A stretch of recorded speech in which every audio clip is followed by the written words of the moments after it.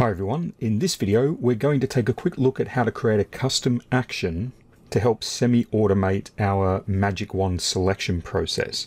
Primarily automating the process of expanding our uh, Magic Wand selection by a couple of pixels so that it overlaps with our line work.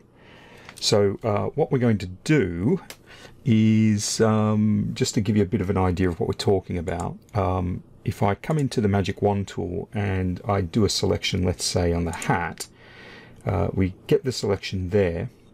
And what we're going to do, uh, what we would normally do is come up to select, modify, expand, and we'd expand it by a couple of pixels. And that's going to make the selection overlap with the line work a little bit, which you can see there.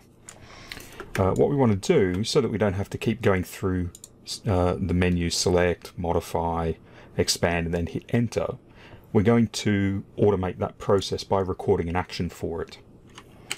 So the way that we do that is pretty easy. We first want to come to the window menu and we want to select actions just here. That's going to pop open the actions panel. Um, I'm just going to break this off so you can see it a little more clearly. Um, usually by default there's a whole range of different actions already supplied uh, with Photoshop for various things. What we're going to do is create a new custom action. I'm going to start off by creating a folder uh, that I'm going to keep my personal custom uh, actions in. So I'm going to call this Simon's custom like that and then I'm going to create a new action inside here so to create a new action we click on the new action button just here and we're going to give this a name. And I'm going to call this uh, let's call this selection. Oops make sure I spell it correctly. Selection expand 2 px 2 pixel. And I'm going to hit record uh, oh, before I hit record, what I can do is set a function key. That usually comes in handy. Um, and it's usually always going to be one of the F keys. Uh, so what I'm going to do is set it to, might set this one to F8, just there. And you can also add a, um, a modifier if you want. On a Mac, the control option would be uh, Command um, I might hit Shift F8, I think, for mine. And if you want, you can give it a color so it stands out. Um, so I'll just uh, add an orange to that. And then what we're going to do is hit record.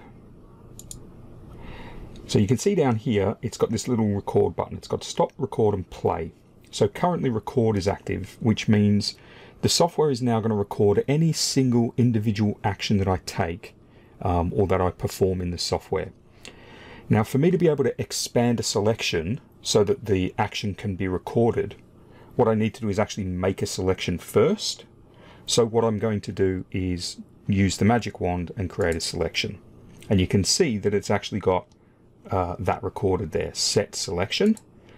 And it's telling me what um, the actual selection options are. Okay, uh, so that's in there.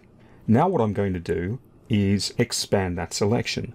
So I'm going to come up to select, I'm going to come down to modify, and I'm going to go to expand, and I'm going to make sure that it's two pixels because that's what I've called my action. Uh, and it's remembering that I did two pixels last time, so that's okay. All I have to do is hit OK, like that. And uh, that's basically all I need. So now what I'm going to do is hit stop, and my action is now recorded. But there's one problem. The issue is that we also recorded the Magic Wand tool selecting this area to begin with. And I don't want that to happen uh, within the action because if I play the action, it's going to select an area first and then expand it. What I want to be able to do is manually select the area I want to select and then use the action just to expand the selection by two pixels. So what I'm going to do is come and highlight set selection and I'm going to delete that out of the action. We'll just say OK. So now what my action is, is just the expansion of any selection that I've got by two pixels. Okay. So that's essentially the action recorded. So if I deselect the selection by coming up to select, deselect, and then I come down to another part of the, um, the drawing, just to show you that it'll work anywhere. Uh, let's say we do the face. If I uh, select the face like this, and then with the select um, select expand two pixels action selected. If I press play, it then expands it by two pixels.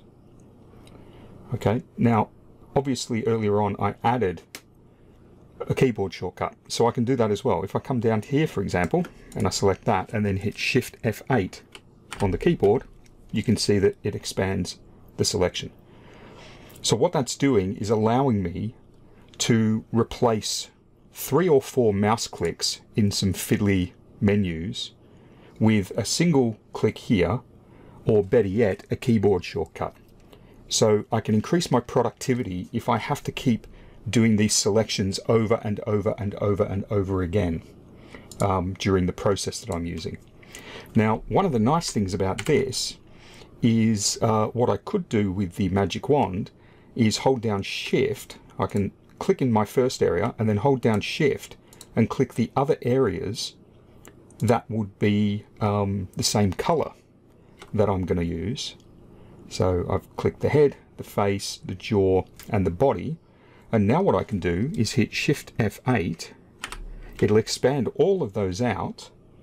And then what I can do is basically fill that color with alt backspace and it fills it all in one hit and all of those color areas are underlapping slightly behind the line work so I'm not leaving any gaps. Once you've set that um, action up it's basically in there until you delete it.